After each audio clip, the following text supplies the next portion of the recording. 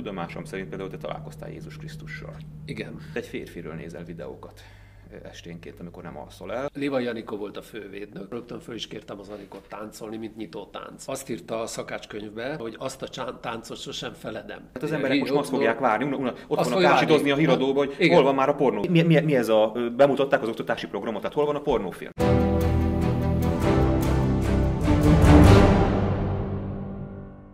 Sok szeretettel köszöntelek benneteket. A vlogom újabb havi beszélgetésének egy olyan vendége van, akit eh, azt kell, hogy mondjam, hogy nagyon szeretek. Eddig is szerettem a vendégeimet, de őt különösen, hiszen egy nagyon régi barátomról van szó.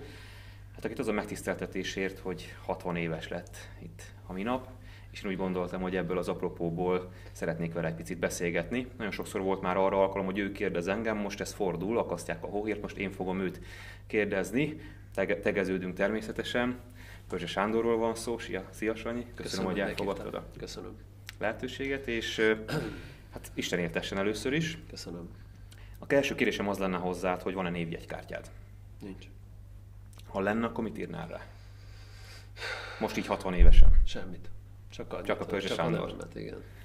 Értem. Hát én négy témáról szeretnék veled beszélgetni. Nagyon sok mindenről tudnánk, hiszen tényleg az elmúlt 20 évünket lényegében majd, hogy nem egymás mellett, meg egymást figyelve, meg egymást segítve töltöttük. Én négy témát írtam föl magamnak. Az egyik az a sport, a másik az a politika, a harmadik a média, a negyedik az pedig a magánélet. Ezt a négy témát járnánk körbe, de akkor kezdjük a sporttal. Ugye én abban a helyzetben vagyok, hogy sok mindent tudok rólad, amit mások nem. Például azt is tudom rólad, hogy te esténként, amikor nem tudsz elaludni, és ugye sok férfi van így, hogy esténként nem tud aludni, és akkor videót néz, amikor már a család alszik, és hát elkezd videókat nézni, és ugye hát különféle videók jöhetnek ilyenkor számításba. Hát egy férfiről nézel videókat esténként, amikor nem alszol el. És Hogy hogyan tudom, mozog, mit csinál, és igazából nem tudsz vele betelni. Mondj már erről egy pár szót nekünk. Hát Leo Messi.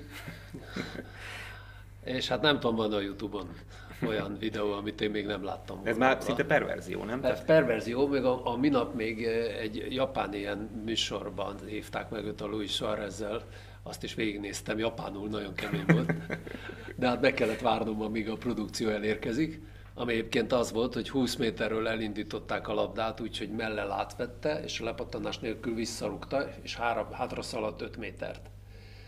Majd a Suárez is levette, lepattanás nélkül félfordulatból visszarúgta, és ő is hátra szaladt 5 métert. És két japán első osztályú labdarúgóval ezt megcsinálták, és azok valami 50 valahány méterig csinálták, ami már nem tudom, tudják a kedves nézők, vagy biztos van, aki tudja, van, aki nem. Én tulajdonképpen labdarúgó voltam 28 éves koromig, tehát így visszagondolva, hát elképesztően nehéz. Na, a Suárez meg a Messi 85 méterig csinálták ezt a, az egészet, anélkül, hogy a labda lepattant És miért. Messi? Mi az, ami, mi az amit Messiben... Nyilván tudjuk, hogy a legjobb játékosa a világnak, vagy az egyik legjobb játékosa, de- nézhetné Ronaldo videókat is. Igen, de én, én nem is azt mondom, hogy a, a, az egyik legjobb a világon, a valaha volt legjobb. Végignéztem az összes legjobbat, akikről, a mindent, amit föllelhető. Ugye a Cristiano Ronaldo-t azt imádom egyébként őt is. Azt a Messivel együtt párhuzamosan láttam, ugye ezer meg ezer meccsen. A Maradonát volt szerencsém személyesen is, mint sportriporter is többször hétvégenként közvetíteni is. Volt egy időszak az életemben, amikor ö, Olaszországban jártam ki Totó meccseket közvetíteni, vagy tudósítani róluk, így aztán ren, rengeteg Napoli meccsen voltam, amiben Maradona játszott, és ez pont az ő legjobb korszaka volt. Tehát őt láttam személyesen is.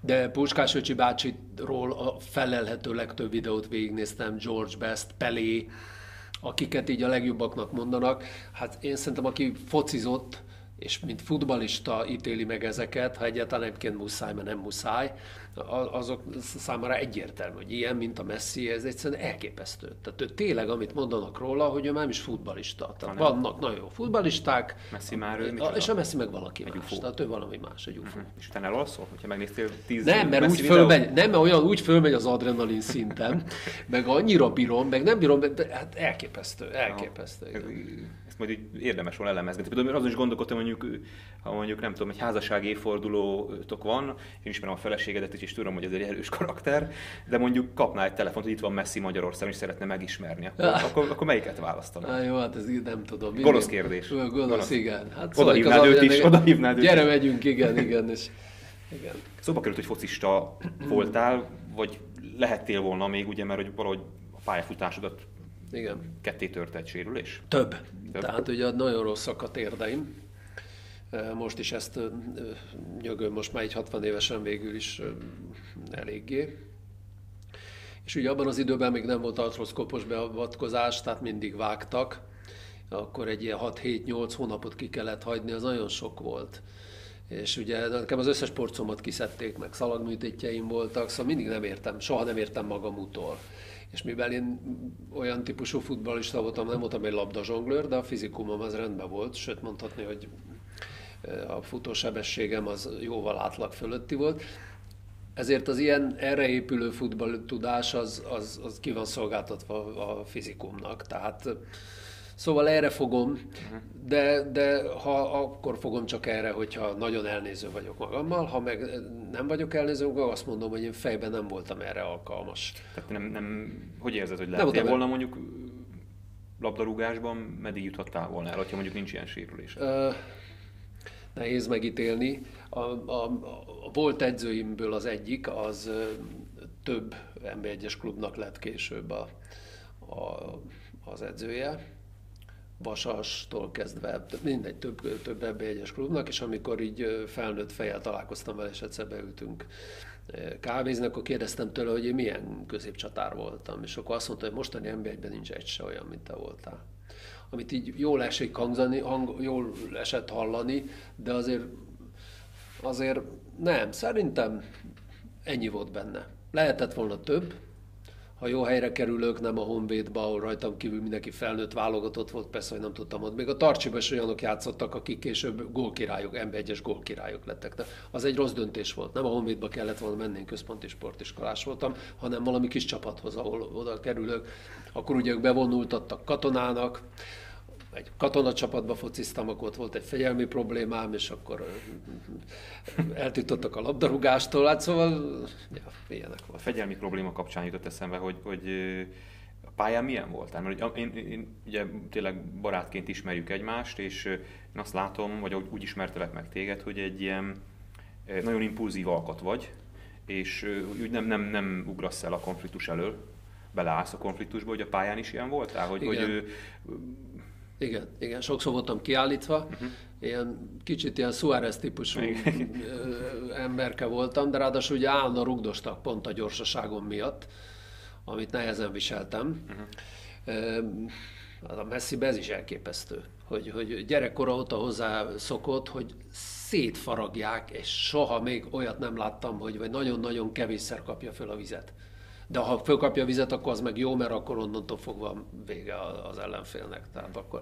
Na jó, szóval nem nagyon, nem, nem voltam jó fej. Azt gondolom, így felnőtt fejjel visszagondolva arra, ahogy, sokszor, ahogy sokszor a pályán viselkedtem, egy picit talán bunkó voltam. Bánod egyébként, hogy ez a pályafutás, bánom, ez, ez, bánom. ez nem, nem bánom. tudta mm. kinőni magát? Mm. Mi, Ez mi, mi, mi, kimaradt az életemben. Hogy érzed, igen, hogy elvettek igen, valamit igen. az életemben? Nem vette, nem vette hogy, senki. Hogy, hogy, nem, hogy elvett valaki, hanem hogy, hogy valami, ami benne volt, az nem igen, jött igen, létre. Igen, igen. Egy nagy lehetőség volt, és hát nyilván rajtam, meg a, kicsit a szerencsén is, de, de ne hibáztassak más. Tehát magamon múlott, hogy nem futottam azt be, amit esetleg jó lett volna. Aztán hogy ugye a, a, a Pesti éjszakában egy híres díszgyoké lettél. Ugye, hogyha... Jó jól mondom ezt a Aha, dolgot. Igen, hogy igen. A... Klubban voltam a Bakai Matyinak váltótársa. A Matyi volt eredetileg a hely, aztán mi DJ Pörzse? Nem, nem volt még ilyen áfelét, nem. Nem, és akkor igen, igen. Jó, az jó volt, az, jó, az volt a vadkorszakod. Az volt a vadkorszakod. Igen. Arról beszéljünk most? Hát, Arról ne. Am, amire ki akartam futatni, az, az ugye, hogy innen valahogy a, a, a média úgy fölszippantott téged, és egy olyan karakter voltál, egy ilyen vagány, belevaló, jó kiállású férfi, most nyilván nem veszed ezt tolakodásnak, meg udvarlásnak, nyilván majd a riposzt megírja, hogy új, mégiscsak új, új, új igen, mégis, mégiscsak. Na mindegy, visszatérve a lényeghez, hogy én úgy én ugye akkor a tévéből ismertelek téged, nem ismertük még egymást, és és én azt láttam, hogy itt van egy ember, aki, aki, aki ráadásul úgy elkezdtél úgy gravitálni, vagy, vagy gravitáltak téged ugye a Fidesz környékére, és ott egy... De várj, de bocs, hogy közben kérdeztem. Te az, ilyen, az, az ilyen celeb korszakomra nem is emlékszel, vagy akkor még kicsi voltál? Hát, Tehát ugye a... 20 év van köztünk. Igen, igen, igen, igen. 19.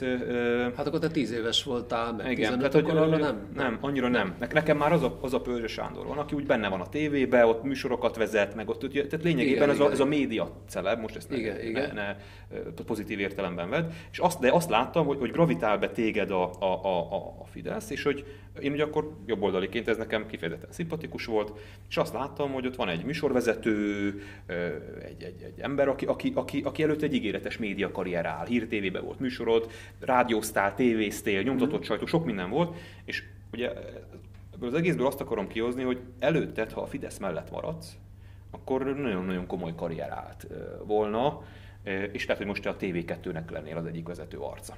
Lehet. Sőt, azt gondolom én is, hogy igen. Ráadásul ugye még úgy is úgy hullámozta ki a sors önmagát, hogy ugye amikor a Fidesz 2010-ben megnyerte a választást, akkor a Szabó László Zsolt lett a, a TV igazgatója, akivel én nagyon-nagyon jóban voltam az Echo TV-s korszakomból. Most nem azt mondom, hogy összejáros barátok voltunk, de ilyen egy húron pendülős haverság volt köztünk. Én nagyon kedveltem és nagyon becsültem őt, és talán ez fordítva is így volt. Tehát nekem könnyű is lett volna, ugye, mivel ő, ő volt a legfőbb főnök. Úgyhogy igen, igen. Ez a pályafutás, ez, ez egyértelműen, hogyha én akkor ki, idézőjelben maradok csak egy átlagos jobboldali, és nem radikalizálódom be a gárdával, a jobbikkal, stb., és nem érnek azok Nem ismersz az, meg engem. Nem ismerlek meg téged, vagy nem, nem érnek azok az impulzusok az ECO TV-ben, ami miatt egyszerűen szint kellett vallanom, ami ugye nem a Fidesz volt, hanem annál egy radikálisabb vonal, és akkor még nem tudtuk, hogy mi az igazi Fidesz, azt csak most tudjuk, akkor, akkor én azt gondolom, hogy igen, hogy egy várt volna rám egy ígéretes, vagy talán inkább úgy mondom, hogy beteljesülő ilyen média pályafutás. Mi van azokkal a kollégákkal, akikkel akkor együtt dolgoztál, akik most haszonélvezői ennek a jelenlegi helyzetnek, hogy velük tartod a kapcsolatot, a barátságot, kommunikáltok, mi történt? Nem, nem tartom senkivel se kapcsolatot. Minap a Filippel összefutottam az egyik bevásárlóközpontban, nagyon jókat beszélgetünk mindig. De mondjuk akivel régen így jóba voltam, Siklósiba, vagy Harsányi Levente például, aki az én idézőjeles találmányom, tehát az én főnök voltam egy kereskedelmi tévében, ahol ahol egy pincér srác volt, és én... Az aszfalt betyárt? Igen, igen, úgy ítéltem meg, igen, igen, az, az az én műsorom Na, volt, de az én találtam ki, és a Levente találtam ki rá műsorvezetőnek, és aztán persze megragadva az alkalmat, meg a tehetség fölvitte oda, ahol most tart. De nem tartom. De Bájer Zsoltól is egy, volt egy baráti körötök például. Igen, igen, az, az egy szomorú történet, mert a Zsolt, Zsoltot nagyon nagyra becsültem, és jó volt vele így haverkodni is nagyon mély dolgokban nem lehetett rá számítani, de, de, de jó. Hát ő, egy, ő kellemes hülyeskedő partner, meg arra is kellemes, hogyha milyen akarsz vele beszélgetni. Volt-e baráti körünk, igen, aminek a Zsolt, a Zsolt is tagja volt. És ez a, az, hogy ezek a kapcsolatok már nincsenek, meg ez, ez, ez, ez hogy történik?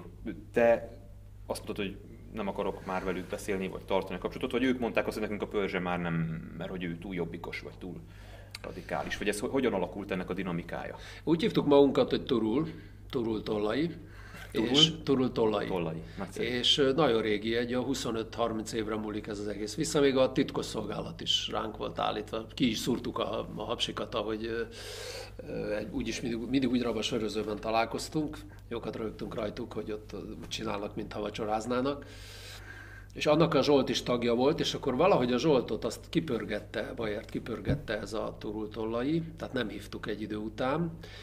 A többiekkel pedig erre nem büszke vagyok, csak sajnos ez így hozta. a 2018-as választás után én szüntettem meg a kapcsolatot, köztük a legjobb barátommal is, mert egyszerűen nem tudtam elnézni, hogy hogy ezek után is a Fideszre szavaztak, sőt, voltak nagy vitáink, és úgy éreztem, és ezen a mai napig nem tettem túl magam, hogy nem fér bele egy barátságba. Nagyon hülyén hangizik ez, meg, meg hogy, hogy így szétvisz barátságokat, sőt, az egyik abból gyerekkori barátság, szétvisz a politika, de mégis úgy éreztem, hogy olyan súlyos dolgok történtek veled is, rajta keresztül velem, hogy ez egyszer nem férhet bele a barátságba. Tehát ennek, ők ennek ellenére Fidesz szavazók maradtak, vagy lettek, mert egyébként a nagy részük jobbikos szavazó volt, akkor, akkor ez nekem nem fér bele. És akkor megszüntettem két nap a 18-a után, tehát 20-án megszüntettem velük a barátságot, és ez azóta sem állt helyre. Nem is fog szerinted? Látsz még arra esélyt, hogy, hogy Hát közül, valamikor... ezt a bizonyos barátomat, ezt én azóta is ugyanúgy szeretem. Egyszerűen csak nem tudom neki, még, még nem tudtam ezen fölemelkedni, és nem, mindig kérdezem a megmaradt baráttól, hogy mi van vele, pontosan tudom mindig, hogy mi van vele, mik a gondjai, mik az örömei, de, de, de arra még nem vitt rá a lélek, hogy újra megkeressem. Volt a politikában olyan, ami, ami, amire viszont jól emlékezel vissza? Tehát, hogy olyan élményed, ami, ami, ami most... Az, hogy mennyi sok vicces élményünk volt, azt, azt tudom, mert azt, azt együtt éltük át, és tényleg az országjárásokat végigbolondoztuk, mondhatjuk így. De hogy volt, van-e olyan, ami eszedbe jut, ami, amiről úgy emlékszel a politikai pályafutásokban, hogy országgyűlési képviselő is voltál ugye négy évig, meg, meg egy heti lapnak voltál a főszerkesztője, amire ilyen felemelő pillanatként emlékszel. Tehát amiről, amiről úgy érzed, úgy érzed hogy, hogy, hogy, ez a, e, e, hogy, hogy ez az életednek egy olyan pillanata volt, ami hogyha majd lepereg a, valamikor majd 50 év múlva, vagy 60 év múlva a kis film, akkor az ott benne lesz. Abszolút. Hát ez, ez, ez volt egy 3-4 év, tehát 14-ig 2009-től 2014-ig én ezt úgy éltem meg, hogy én akkor, akkor volt, most már így úgy látom, hogy akkor voltam a csúcson. És azért, mert úgy akkor ilyen szabadságharcos nak képzelve magunkat, én abban a szerepkörben, én azt nagyon őszintén úgy is gondoltam. Felemelő pillanataink voltak a parlamentben, mikor először bementünk, mikor letettük az esküt a Szent Koronánál, az, hogy egyáltalán ide eljutottunk egy mozgalomból, az, hogy a, mindannyian hittünk benne, hogy, hogy belőled miniszterelnök lesz, és azon keresztül egy sokkal jobb országot lehet építeni. Ezek felemelő dolgok voltak, és én ezt soha életemben semmit annyira komolyan nem vettem, mint azt. Azt az időszakot, meg azt, azt amit akkor gondoltunk. Aztán az már egy másik beszélgetés, vagy hosszabb beszélgetés része, hogy itt orr szúrtuk el, elszúrtuk egyáltalán valahol. Azt is, arra is emlékszem, hogy, hogy te nagyon fontosnak tartottad a kulturális a megalapozását és a nemzettudatnak. Ugye nagyon sok olyan filmet is készítettél, ami, ami erről szólt, hogy a történelmünknek a megismerése. És úgy nagyon erősen hittél abba, hogy a magyar nemzet, a magyar nép az egy ilyen különleges fajta. Sőt, kiválasztott, így gondoltam. És most ezt hogy gondolod? Hát nem így. Nem így? Most mit gondolsz, milyen a magyar? Hát most majd jól összeköpködnek a Facebookon, de most meg átestem a ló túlsó oldalára. Tehát most az a bajom, hogy egy picit ismerve az európai történelmet, de legjobban ugye talán a magyart, hát nem tudom, hogy van-e még egy olyan nép, amit ennyiszer, amelyik ennyiszer hagyta magát átverni. Tehát amelyik ennyiszer a saját diktátorait visszaszavazza, amelyik ennyiszer bele tud lépni ugyanabba a fekáliás folyóba, hát ez annyira elvette az identitásomat, és annyira ö, egy ilyen permanens rossz érzéssel tölt el, hogyha a mostani Magyarországra kell gondolni, meg a jövőjére, hát a jövője meg szerintem teljesen Pessimista vagy? Nagyon, nagyon rosszul látom. Nem lehet egyébként, hogy a kettő között lenne valahol. Val- nem lehet, hogy a nagy elvárásokból van most egy nagy csalódottság, ami majd valahol az inga megáll középen, és hogy akkor is, akkor többet gondoltál róla pozitív értelemben, most meg többet gondolsz De lehet. negatív értelemben? De lehet, csak még nem találom meg. De most még itt vagy a ingának ezen Igen, az oldalán? még mindig. Aha. Még mert mindig. hogy beszéltünk arról, és hát itt nyilván én ezt tudom, de azért megkérdezem, hogy, hát, hogy te még úgy mindig nem dolgoztad föl a, a tavalyi áprilisi választásokat. Nem, nem ezt azt nem. Nem. Még mindig nem? Abszolút nem. Hát ugye egyrészt a... Mit nem tudsz bennem? Tehát, hogy mi, mi az, amiben a, a, a, a, abban a választási eredményben a számodra a legfeldolgozhatatlanabb?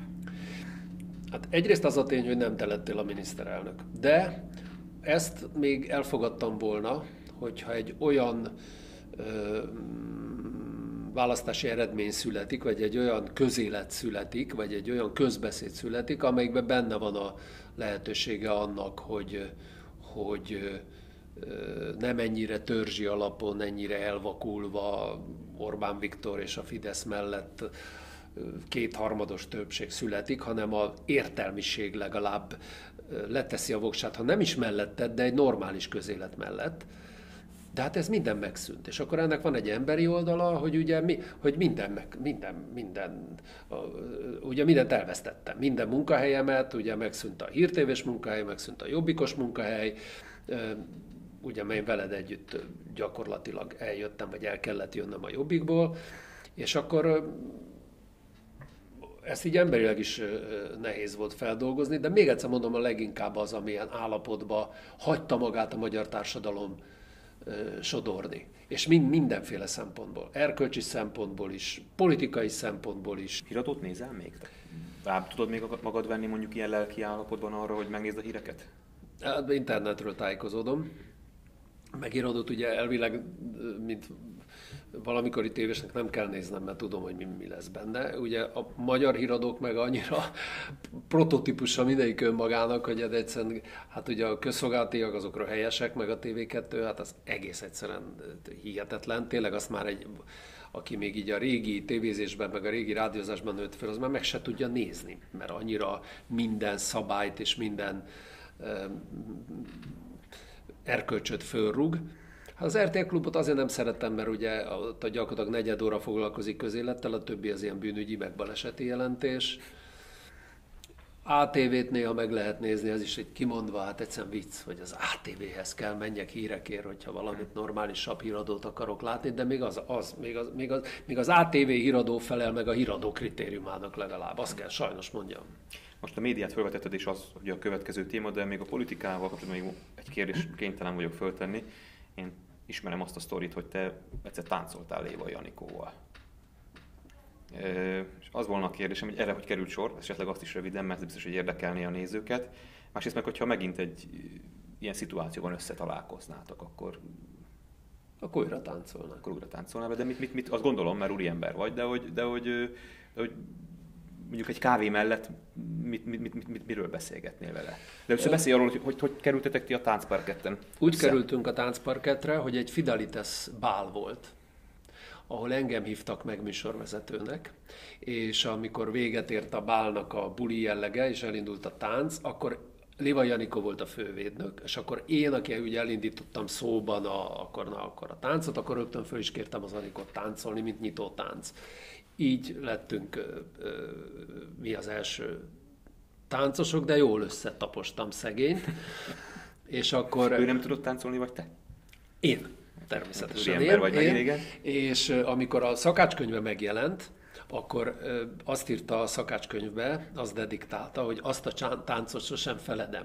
És amikor ezt a feleségem olvasta, akkor, akkor ugye ez egy kicsit ilyen másképp hangozik, és mondom, azért nem feledi, mert úgy összetapostam, meg úgy összerúgdostam szegényt. De egyébként volt riportalanyom ö, ö, kétszer is, meg véletlenül itt-ott ilyen-olyan rendezvényeken találkoztunk, és egyébként nem olyan nagyon régen, tehát két éve belül van, hogy beszéltem vele utoljára, tehát én nagyon kedvelem őt. És mondjuk azt a választás sok előtti vagy utáni helyzetet a szóba hoznád, vagy, nem. vagy át nem? De ő vele nem. nem is lehet. Nem is lehet. Tehát ö, ö, nem csak velem, szerint én úgy tudom, hogy mindenkivel olyan, hogy abban a pillanatban, ahogy a, a beszélgetést a politika szele meglegyinti, abban a pillanatban tisztázza, hogy ő nem, ő nem vesz részt a politikában. Semmilyen módon, és nem is hajlandó róla beszélgetni. Menjünk tovább, Igen. és menjünk rá a médiára. Ugye tényleg a médiában te minden voltál, már olyan, hogy a, a, a, a tévézést, a rádiózást, a nyomtatott sajtót is ismered, kívülről, belülről, vezetői pozíciókból. Most valamelyes az online világban is dolgozni, hiszen a kötött fogás az, az, az, az végül az online térben terjed alapvetően, mert nincs, nincs más lehetősége. És hogy látod azt a magyar médiát, amiben most azt gondolom, hogy hát nem is tudom, hogy mélypontnak nevezhető az, ami most vagyunk, mert ki tudja, hogy mi a mélypont, ahol mondjuk egy héten belül a Budaörsi és a Győri polgármester fölkerül a pornó oldalakra biztos emlékszel rá te is, hogy hányszor mondtuk azt, hogy ami most jön a következő választási ciklusban, az a legalja lesz. És Majd igazunk is volt És mindig. mindig igazunk is volt. és még mindig ezen a lejtőn csúszik lefelé minden, bár azt, amit veled csináltak, én szerintem egy ilyen borkai féle videó az a tizede. Olyan szempontból, hogy, hogy ezt a borkai elkövette. De amivel téged gyanúsítottak, és ugyanilyen szinten lejárattak, azt te még, csak el se követted. Hogy látod egyébként ezt a Borkai esetet? Mert most Borkai Zsoltól függetlenítve. Hát a sajnálom hogy... a családját nagyon. Mert ugye te is tudod, hogy ebbe a család, a család ebből, ebből a szaresőből a családra is rengeteg hullik. És a gyerekek nem tudják kivédeni. Szegény, nem ismerem a feleségét, nem tudja kivédeni. És de látod, még most is ott tartunk, vagy legalábbis most, amikor beszélgetünk, az van, hogy, hogy ő azt mondja, hogy megbántam, meg szégyellem magam, meg persze hát mi a fenét mondana, de még mindig nem történt az meg, hogy, hogy, hogy hát akkor visszalép, visszalépek. Kérem Szerinted szépen. le kéne mondani? Hát egy ilyen eset után. Csak hát én szerintem. Megkérdezem. Hát ugye hányszor megbeszéltük, hogy Japánban, vagy a francia közlekedési miniszter, mikor három percet késett a TGV lemondott. Mert nem fér bele. Három perces késés a francia nemzeti ikon, legalábbis közlekedési szempontból. Hát akkor itt mi, mi az, ami ne... De mi nem fér bele? Ha valaki megöl egy csecsemőt, akkor lehet, hogy azt is majd megbánta, meg, meg egy kicsit félrenézek, meg fotózkodom a család, mert a család itt áll mögöttem, fotózkodok egy picit, aztán majd nem mondok le. Hát nem értem, nem, nem is értem. És hogy látod annak a szerepét, aki ezt az egészet most ugye szépen ilyen napi adagolásban ö, hát az tálalja? Mert, mert, mert ugye itt... Figyelj, egy szarázi. Mi ezeket átéltük már olyan nem, nem ilyeneket, de nálunk is voltak ilyen figurák, akik bekapcsolt magnóval ö, mászkáltak. Már egy éve. Hát milyen ember az, aki egy, egy ö, közösségben, egy politikai közösségben, itt ráadásul baráti közösségről van szó, veszi föl, hogy, hogy hát, hogyha ezt föl tudja használni. Vagy, per, vagy perverz volt a csába, azért vette föl, hogy a borkai mit csinál. Hát persze, hogy nem. Csak mondom. Uh-huh. Milyen emberek ezek? Csak hogy mert vannak, akik, ugye ez is egyébként mutatja a magyarországi törzsi gondolkodást, hogy a, amikor ugye a Wittinkov Tamás volt ugye az első pornósztár, akkor, akkor ugye egyből jött a, a, a jobb oldal, és akkor elmondta, hogy na tessék, itt a, ilyen állapotban vannak. Ezek ilyenek. És aztán most a, a Borké most ugyanúgy a bal oldal, és mind a, mindig a, amikor a sajátjuk volt, akkor mindenki hallgatott. Tehát, igen, hogy egy ilyen, igen, is egy ilyen törzsi gondolkodás van, és én is azon gondolkodtam, hogy miért kell ezt nekünk látni. Tehát, hogyha ha valakinek van bármilyen jellegű bizonyítéka vagy felvétele, és ott valami törvénytelenség történik, az figyel a rendőrségre, nem, nem ez a tiszta Igen. képlet. És várjál, ráadásul két jó polgármesterről beszélünk. Tehát még csak a... Ezt nem, a... nem tudom, tehát hogy ezt hát... megítélik majd a helyiek, én nem ismerem egyik polgármestert sem személyesen, de azt látom, hogy megválasztották őket most már hosszú, hosszú ciklusok hát, óta, tehát valamit biztos tudnak. 20 éve polgármester. Igen, igen, igen. Csak ugye azt mondom, hogy ezzel az erővel te mondjuk a, a annak, aki ezt a szivárogtatást elvégzi, az erkölcsi felmentés megadott? Tehát, nem, hogy a cél szentesíti az eszközt? Egyáltalán nem adom meg. Akkor mit kellett volna kicsinálni? Hát ezt nem kellett volna csinálni. Hát Gábor, nekünk is voltak hasonló... Én tudom, de most én... Sanszaink mégse vit rá minket a lélek, hogy előálljunk ilyenekkel. Ezt Még ilyenebekkel. Egyszerűen, mert, mert hogy, hogy is van a mondás, hogy mert nem ilyennek neveltek, vagy hogy mert nem... Hát nem így neveltek, nem, nem, igen, nem igen, volt gyerekszobánk, igen, igen, tehát ezt, ez, ezek a dolgok, tehát nem lehet, nem, nem, Hát te nagyon jól tudod, hogy nekünk volt, volt Fideszes képviselőről, KDNP-s képviselőről, hát ha nem is ilyen minőségben, de, de hogy azért hasonló jellegű tartalmak, és nem tettük meg. Na. Amiért mondjuk én sokat kaptam bizonyos ö, pártársaimtól, hogy, hogy balek vagyok azért, hogy ezzel nem jöttem elő, csak én pontosan azért nem jöttem elő, elő velem, és most is az az egyik kérdésem, hogy ennek mi a vége. Mert most ez kijött, Borkai Zsolt családja nagyon rosszul érezheti magát, meg Vittinkov úr családja is, de ezzel nem ért véget ez a történet. Tehát, hogy innentől kezdve akkor úgy tűnik, hogy erre kell számítani, ez lesz a politikának a, a, a beugrója. Tehát, hogyha te mondjuk egy fiatal ember vagy, és politikába készülsz, akkor, akkor ezzel együtt kell vállalnod a politikát, mert így, így nem biztos, hogy sokan fogják vállalni az értelmesebb emberek közül. Hát ez nagyon nehéz, igen, mert most a piacon, ha valaki a piacon sikeres, akkor miért vállalná ezt fel? Hát nem. Hát ráadásul mindenki azt gondolja, hogy itt micsoda őrült nagy koncva. Hát persze a koncván, aki a ner a tagja, ott nagy koncván. Hát, hogyha korrupt valaki, ja, akár ellenzékben. valaki. Hát igen, mondjuk ott nehezebb, de akkor jó, ott, hát is, ő... még ott is megy. Igen, tudjuk, hogy van ennek ezzel. De egyébként ezzel, ezzel együtt kell élni. De ha ebből, erről az oldalról nézem a borkait, hát egyszerűen nem is értem, hogy Hát az egészet nem értem, hogy, hogy, hogy, hogy ez hogy történhetett meg, ha meg már megcsináltak, hogy hogy lehetett ilyen ostoba. Mert a Wittinghoff az egy más ügy, az egy... Az egy ő viszont korrektül kezelte ezt a helyzetet, én úgy láttam, igen, nem? Tehát, igen. hogy ő bevállalta, ez, ez történt, sajnálja, ott ő, őt lépre csalták. Tehát az nem egy saját rendezésű buli volt, hanem lé, lépre csalták. És azért sok férfi egy ilyen lépre csalásnál elesett volna a erkölcsel folytatott harcban. Úgyhogy az egy más ügy. Mhm. De egyébként szerintem ilyen videó van még több tucat. Biztos vagyok benne. És hát innentől kezdve valószínűleg egyre inkább lesz, Igen, nem? Tehát, hogy ez, ez, ez, megint, egy, megint egy, egy vonal át lett lépve. És most már ez innentől kezdve bele fog, férni. bele fog férni. És akkor egy másik aspektusból kérdezem, mert hogy te azért nem csak politikus voltál, hanem ugye, ahogy beszél, most a médiáról beszélünk, hanem egy média szereplő, egy, egy vezető a médiában.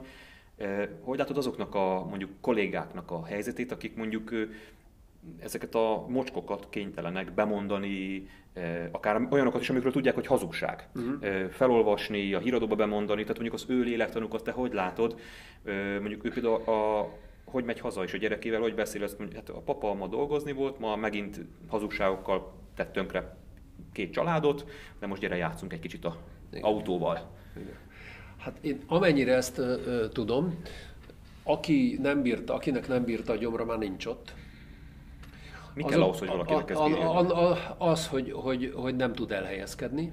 Ugye rengeteg volt Echo TV-s, volt Hír TV-s, nem tud elhelyezkedni. Tehát aki például maradt a Simicskánál a G-nap után, nem tud elhelyezkedni, írott sajtóban ugyanez a helyzet, kiváló újságírók nem tudnak elhelyezkedni, és a családot pedig el kell tartani, tehát akkor ugye erről van szó, hogy, az föl, hogy, hogy ezt föl, én nem oldozok föl senkit, de nem is ítélek el. Uh-huh ő, én csak most arról beszélünk, hogy ki hogy magyarázza ezt meg magában. Tehát az egyik fele így magyarázza meg, hogy a család, ez van. Szívesebben írnám az igazságot, de most ez van, ezt kell szeretni, a családot el kell tartani, ez az egyik felad, a másik fele nagyon meglepő, ő pedig azt mondják, hogy ez a profizmus. Tehát úgy így kell működnie a sajtónak, mert a, a politika úgyis befolyásolja a sajtót, tehát ugye Magyarországon sosem volt független újságírás, ebbe bele se lehetett tanulni, és ez pedig a Fidesz a, a profizmus profizmusát csinálja, hogy legyalázza a politikai ellenfeleit, a sajtó Tehát lényegében farkasként kell viselkedni, mert ha nem, akkor, akkor téged fognak felfalni? Igen, pontosan.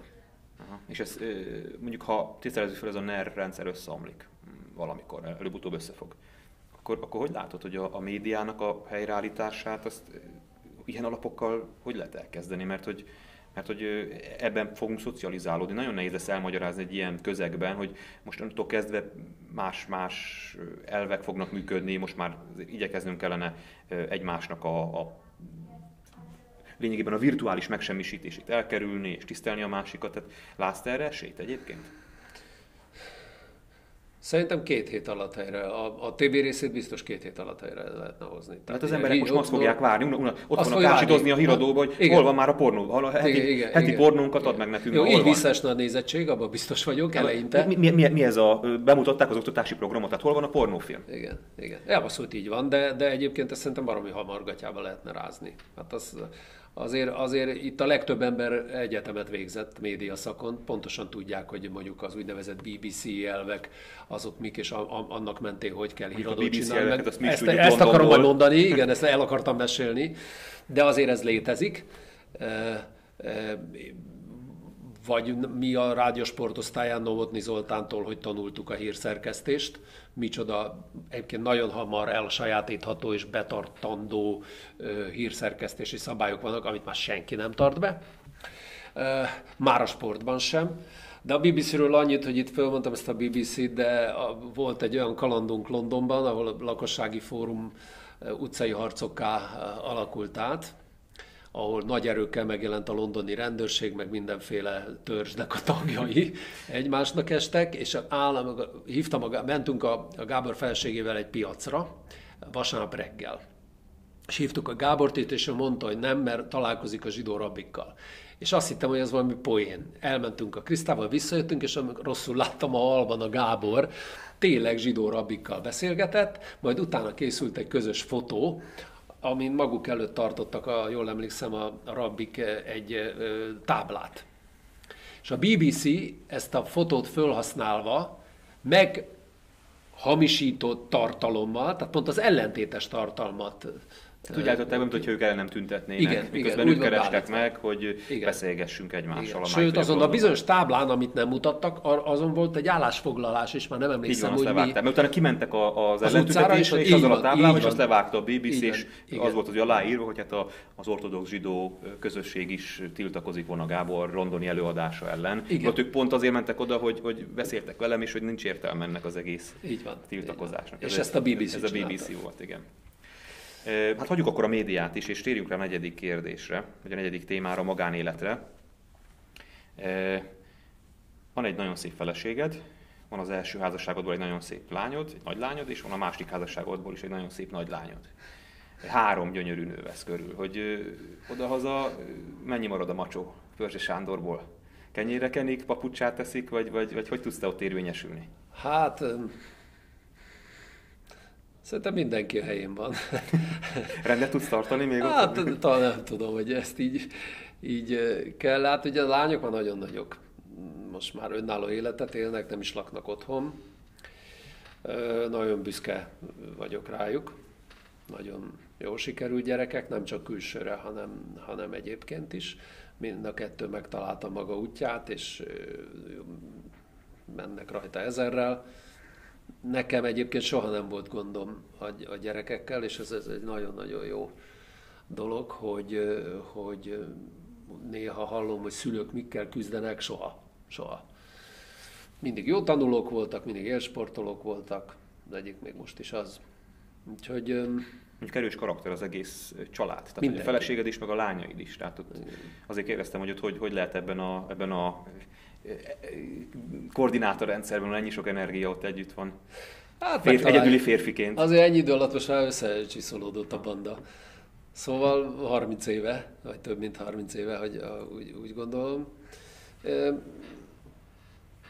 Azért nagyon erős háttér a család, és most, hogy ugye például olyan időszakot élek, hogy nekem nincsenek sikereim, hát így ők, ők lehetnek egyfajta támasz, vagy ők is a, ők a támasz.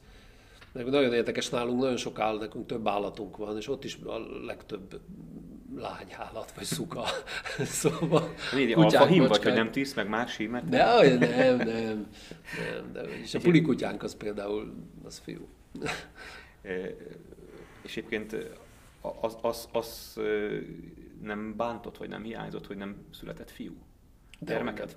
Szeretél volna? Hát hogy nem, meg hát most már nagyon jó lenne még, amíg meg tudom, már jönne az, már hogyha jönne az unoka. Uh-huh. És a lány lesz? Hát a lány lesz. Hát, fú. Nem, hanem hogy azon is szoktam mondani, hogy most még meg tudom mutatni talán még pár évig, hogy hogy kell leszorítani a lábfejedet lövésnél, de utána már nem. Uh-huh. És hát azért ez hiányzott, hogy, hogy, hogy az jó lett volna egy ilyen kis, főleg azt mondják, hogy az ilyen féltehetségek, mint én voltam, azoknak születik nagy tehetségű gyereke. Hát hogy erre, is, erre, erre ezer, is, ezer, csak lányok. Ezer, hát igen, igen, igen, igen. És a, ugye, rajtuk keresztül kiéltem, az egyik lányom az röplabdázott, és akkor azt mentem minden meccsére, extra ligába játszott, tehát a legmagasabb, vagy ha focira lefordítjuk, akkor MB1-ben. Ott voltam minden meccsén, ott, ott próbáltam ezt kiélni, de hát azért röplabdával mi a fenét tanácsot tudok adni. Fociba talán még igen. De úgyhogy ha jönnek az unokák, akkor még remélem, hogy erre lesz idő. És egy olyan karakter, mint te, mit gondol az egész gendervitáról, ami most zajlik így a, a világban, meg, meg, meg talán itt Magyarországon is egyre inkább. Tehát a nemi szerepeknek a 21. századi újraértékeléséről vagy megváltozásáról, tehát ebben te hol állsz ebben a vitában? Te egy liberálisabb vagy konzervatívabb álláspontot képviselsz? Én sokat gond... Én csak akkor tudok jól állást foglalni, hogyha mindig a konkrét esetet vesszük. Akkor, Tehát nincs egy akkor ilyen... van véleményem. De az, hogy most mik a nemi szerepek, és hogy, a, hogy egy családon belül, egy családon belül vannak nemi szerepek, és azt például én nem szeretném, hogyha fölbomlana.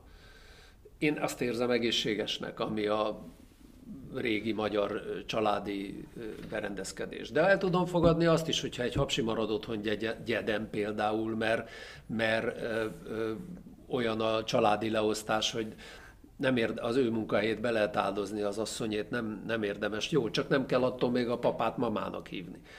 Tehát mondom, a konkrét esetekben mindig van vélemény, általánosságban pedig azért ezt az egész gender vitát ez, ez az őrült liberalizmus hozta létre, ami már sokszor beteges. Úgyhogy tulajdonképpen így érdemes lenne visszamenni, hogy, hogy tulajdonképpen mi volt az alapvető kérdés ebben az egész gender vitában, hogy mi volt a probléma. Ja, a, ha, ha már így általános azt mondod, hogy konkrét esetekre uh, tudsz inkább reagálni, akkor felteszek pár konkrét kérdést a, itt az egész gendervita kapcsán. Nem csak a nemi szerepekről szól, hanem én sokszor azt látom, hogy a gendervita sokszor inkább a, a nemi identitásnak, a, nem csak a nemi szerepeknek, hanem a nemi identitásnak a vitájába uh, csúszik át, és úgy a homoszexualitáshoz való viszonyról is szól, és uh, ugye előbb-utóbb itt Magyarországon is azok a kérdések egyre inkább föl fognak merülni, hogy mondjuk például a homoszexuálisok házasodása az jogilag engedélyezhető-e, vagy meg kell adni nekik ezt a jogot, illetve hogy homoszexuális párok fogadhassanak-e örökbe gyereket. Ezekről például mi a véleményed? A házasság egy férfi és egy nő között születik, én úgy tudom, de hogy jogilag ö, ö, ö, két férfi vagy két nő együttélése, jogilag, jogilag mondom, egyelő legyen azzal, ahogy egy házastársak élnek, azt például én támogatom. El tudom fogadni, hogy ők ilyen szempontból, hogyha ők egy pár, és ennek jogi következményei vannak, akkor ne legyen külön kül. Tehát most itt vagyon megosztástól kezdve, ugye hmm. minden, ami a jog, jogkategóriája. De akkor azt hogy akkor az örökbefogadást is Nem, az, azt például nem. Mhm. Én azt gondolom, azért, mert... Mert hogy a jogi egyenlőségből való ez is következik. Igen, igen, igen, látszólag, de egy, szerintem egy gyerek fölnevezésének a legegészségesebb módja, nem az egyetlen, de a legegészségesebb módja az, hogyha egy anyuka és egy apuka neveli. Ezzel nem mondom azt, hogy nem tud nagyon jól nevelni egy apuka, meg hát a, a nők számtalanszor bebizonyították, hogy önmaguk is micsoda harcokon keresztül képesek egyedül akár több gyereket is fölnevelni fantasztikus módon, de az ideális állapot az egy anya és egy apa, meg alkotta család. Erre mondják azt az ellenérvet. Ja, bocsánat, mondtam. Igen, tudom. És azt is el tudom fogadni a gyakorlatban, hogy biztos vannak olyan homoszexuális párok, akik egészséges gyerekeket tudnának, hogy mondjam, nevelni, tehát ahol működne a családmodell, bár itt aztán már kezd be a fejembe összezavarodni a dolog, de, de, de azért ezt, hogy mondjam, a napszámok törvénye alapján azért ezt most ha nem volt időm ezt annyira átgondolni, nem biztos, hogy engedély, engedélyezném. Uh-huh.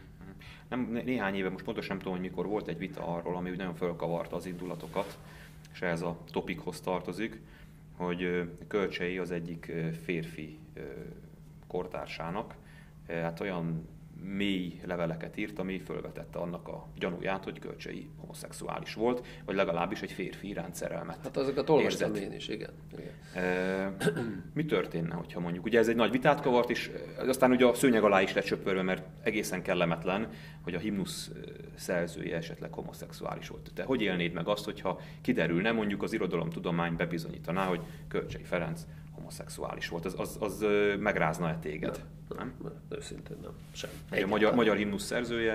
Ne, nem. Egyáltalán nem. Egyáltalán nem. Ez, Ez mondjuk a nemzeti radikális sorsa. tábort... Hát, hogy... a nemzeti radikális tábort mindenki hozza a sodrából. Uh-huh. Az is, amit, a, amit nem kell. Aztán, ami meg kéne, az meg nem hozza ki.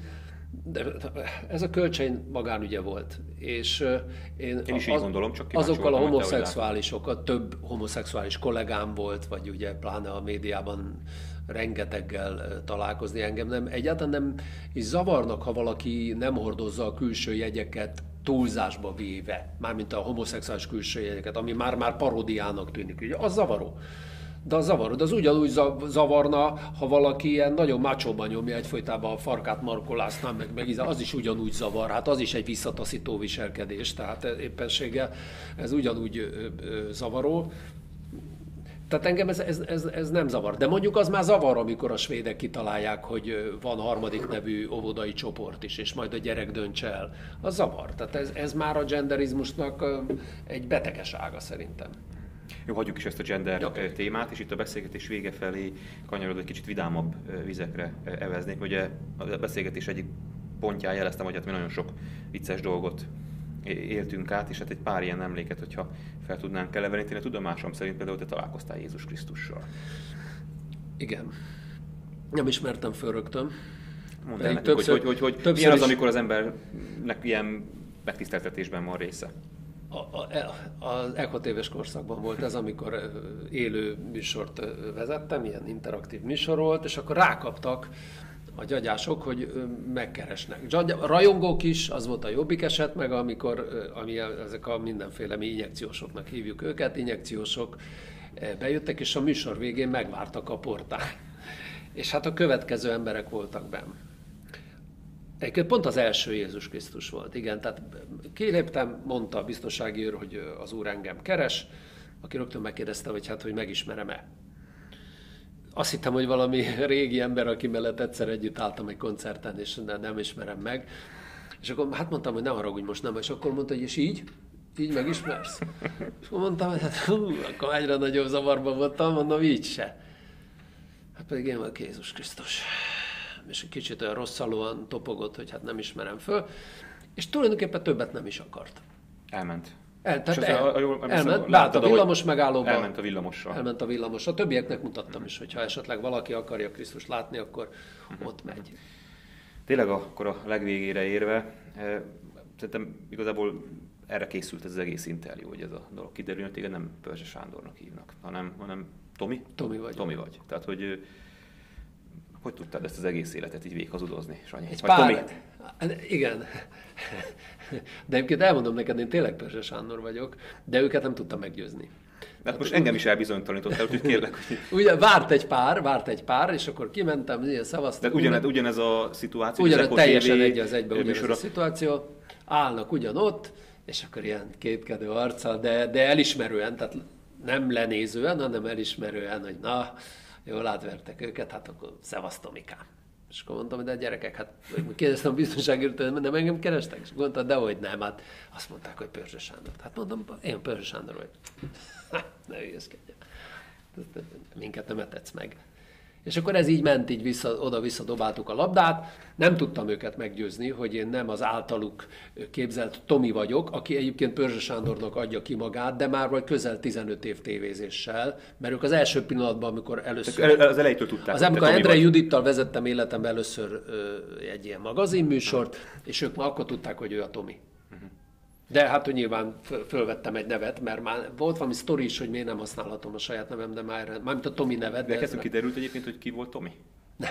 Hogy hát esetleg Elmondták, megnéz de- bennünket és jelentkezik az a hasonmásod, aki egyébként Tomi.